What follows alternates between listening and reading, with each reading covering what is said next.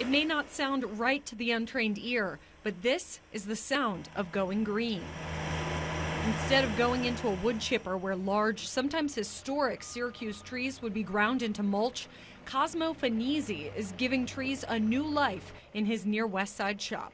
I see it as both like my duty and also like a really strong marketing strategy because everybody, you know, is on board with that. They they want for the most part things that are sustainably harvested and, and things that, that have a story or tell a story. There's some maple stuff over there. Each year, Fanizzi takes in about 100 trees from across Syracuse, removed by the city because of storm damage or simply because they've become hazardous, and repurposes them into interesting and unique pieces. This was uh, one of three giant willow trees in lower Onondaga Park that, that came down. They, they, uh, they all succumbed to root rot.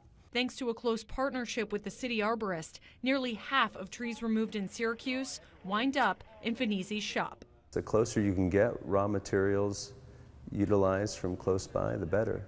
If we can mm -hmm. get raw material here and process it here, that's uh, better for the community. And certainly better than just chipped as wood product. There's no shortage of wood chips and, and mulch. Today, this ash tree is being milled into a bar top that will go into a new downtown beer hall. Because of the threat of spreading the emerald ash borer, current state regulations prevent Fanizzi from using the city's ash trees. But he hopes the state soon gives him the green light to reuse the trees marked by the county for removal. Preserving pieces of Syracuse, one tree at a time. On the near west side, I'm Kellie Cowan reporting.